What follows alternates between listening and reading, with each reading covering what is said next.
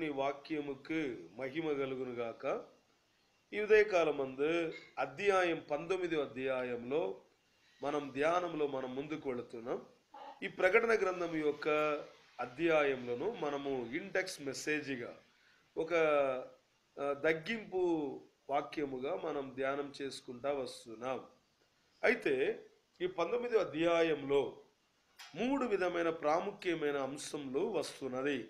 Point number one గొర్రె పిల్ల గొర్రె పిల్లవారు వివాహం దీనిలో రాయబడి ఉన్నది.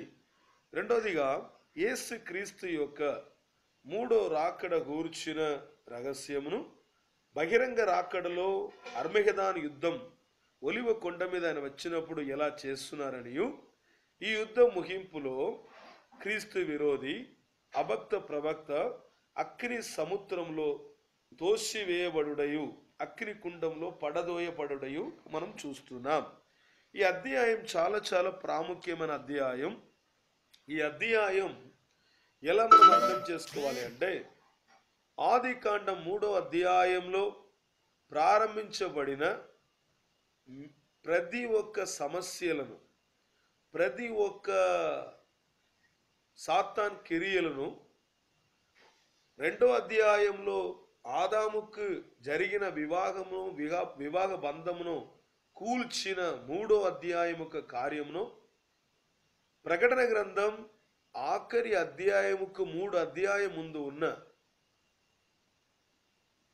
ఈ పంతొమ్మిదో అధ్యాయంలో దేవుడు సాతాన్ రాజ్యంను కూల్చుటయు. దానికి ముందే దేవుడు కడపడి ఆదాము అయిన యేసు క్రీస్తువుకు వధువైన సంఘంతో వివాహం జరిపించుడై మనం చూస్తున్నాం. అయితే ఈ మూడో రాకడ గురించి చాలా మందికి సందేహాలు ఉంటుంది అనుమానాలు ఉంటుంది. మూడో రాకడ అనేది భూమిలో జరిగే రెండో రాకడగా ఉంటుంది. మూడో రాకడ అని ఎందుకు చెప్తున్నామంటే మొదటిగా యేసుక్రీస్తు కన్నిమరియ గర్భంలో వచ్చా. రెండోదిగా ఆకాశం మీద ఆయన రహస్యముగా వచ్చారు.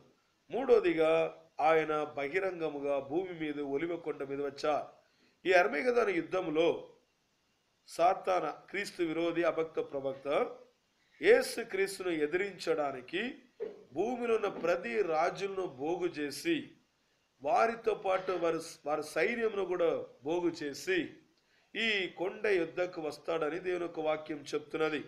దీని గురించిన కార్యం ఎసకేల్ గ్రంథం ఇర్మియా గ్రంథం ఎస్ఐ గ్రంథం ఇక్కడంతా కూడా దీని గురించిన లోతైన రహస్యంలో రాయబడి ఉన్నది. అది ధ్యానం చేసినప్పుడు మనకు అర్థమవుతుంది. చకరియా పుస్తకం ఓసయ్య పుస్తకం దీనంతా కూడా దీని లోతైన అనుభవంలో మనకు రాయబడి ఉన్నది. అయితే వాడు ఎంత యుద్ధం చేసినా కానీ ఈ గడ్డ సర్పంను అనగదొక్కేసి వాడిని మాత్రం వేరే ఒక్క తీర్మానం కొరకు దేవుని చిత్తం కొరకు పక్కన పెట్టి క్రీస్తు విరోధియు అభక్త ప్రభక్తయు పట్టుబడబడి అగ్ని సముద్రంలో నెట్టివేయబడుతున్నారు. ఎందుకు అంటే మంచిగా గమనించాలి. ప్రతి మానవుడు మరణిస్తే సమాధి భూమిలో చేయబడతారు.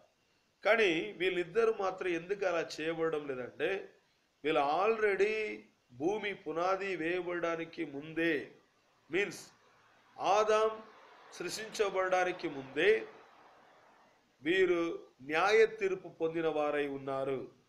ఒక్కసారి దేవుడు సరిగ్గా న్యాయ తీర్పు పొందిన వారికి మళ్ళీ మరణమనియు మళ్ళా వారు పునర్దానం అనే కార్యం ఉండవు. కారణం మనకు న్యాయ తీర్పు తవల సింహాసన న్యాయ తీర్పు అన్నది వెయ్యేల పరిపాలన ముగించిన తర్వాతనే ఉన్నది అని దేవుని యొక్క వాక్యం స్పష్టంగా తెలియజేస్తున్నది. అందుకాబట్టి వీరు ఆ న్యాయ తీర్పులో వెళ్ళిపోయారు కాబట్టి వీళ్ళకి న్యాయ తీర్పు అయిపోయినాయి కాబట్టి వీళ్ళకి ఇంకొక మరణం లేదు కాబట్టి వీరు ప్రాణంతో పట్టుబడబడి అక్కిని కుండంలో పడదోయబడ్డారని దేవుని యొక్క వాక్యం చెప్తున్నది. ఇది ఈ అధ్యాయం యొక్క సారాంశమై ఉన్నది. దేవుడు మిమ్మల్ని దీవించును గాక